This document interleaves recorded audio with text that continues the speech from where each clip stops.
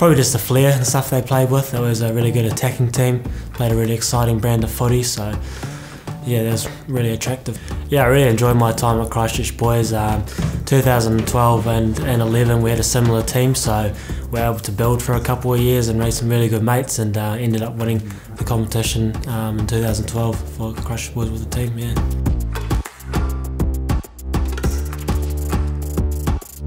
My parents my brothers have been awesome. My dad was always the standard dad back in the day, kicking the balls back to me when I was younger. My mum has always been really supportive, and my brothers are exactly the same as well. I uh, definitely want to grow grow my game, so just learning off the coaches, awesome um, panel of coaches here that had experience, especially Carlos, who's been in those big moments, especially played first five as well. So just learning off those guys, Bodie, and uh, just really looking to grow my game this year.